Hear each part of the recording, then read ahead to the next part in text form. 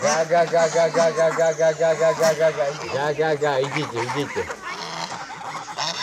На території колишньої Меньковецької міжколгосної лікарні біля пам'ятника академіку Феофілу Яновському пасуться гуси. Лікарня давно не працює, в ній зараз гуртожиток для вимушених переселенців. Ну а що? Лежати на дивані ще не будемо. Це наша обща птиця.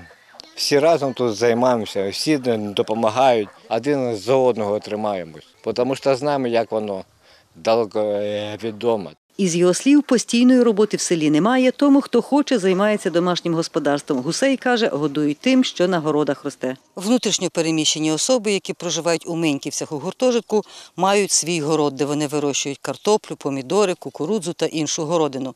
Цю землю надала їм місцева влада. Це частина місцевого пасовища жителів села Меньківці. Землю та посадковий матеріал для проєкту Сади перемоги мешканцям гуртожитку навесні надали як місцева влада, так і тутешні жителі.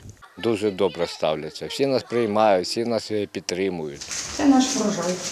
Каже переселенка з Херсонської області Юлія В'язанкіна. У неї з чоловіком семеро дітей. Найстаршому 20, наймолодшому 2 роки. Родина В'язанкіних мешкає в двох кімнатах. В одну 9 ліжок не поставиш.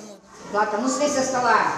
Мы 9 месяцев жили в оккупации. Когда начали бомбить, очень страшно было на Новый год.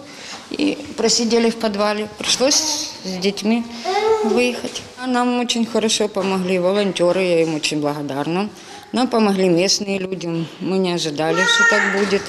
На двох поверхах дві кухні з електроплитами. Коли немає електрики, виручає плита з газовим балоном на нежитловому третьому поверсі. Тут мешкають 38 чоловік, з них 15 діти. Дорослі на побутові незручності не нарікають, хоча вони є. Юлія каже, не завадив би ще один бойлер, бо він один на поверх, та електросушарня для випраного одягу. Зимой сильно на улице не посушишь, а здесь вот на таких сушилках. Ну, это сырость, ты разводишь, и дети потом этим дышат и болеют. У цьому корпусі колишньої лікарні і, можливо, у ще одному мають облаштовувати помешкання для внутрішніх мігрантів за гроші глобального фонду, каже начальник управління соцзахисту Микола Островський. До нас поїхали евакуаційні е, потяги, якими е, прибувають люди на лікування.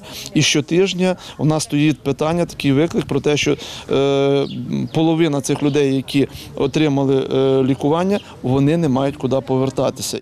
Із його слів, громаді прийняли програми підтримки ВПО та грошей з місцевого бюджету недостатньо. Тому звернулися до міжнародної благодійної організації та в числі шести міст у світі отримують гроші. На реконструкцію лікарні під житло фонд надає 200 тисяч доларів. Це десь е, до 6 мільйонів гривень. Ми плануємо буде направлено на е, саме власне реконструкцію. Замінимо всі мережі, звичайно, перекриємо дах цього приміщення, зробимо е, внутрішні, роботи.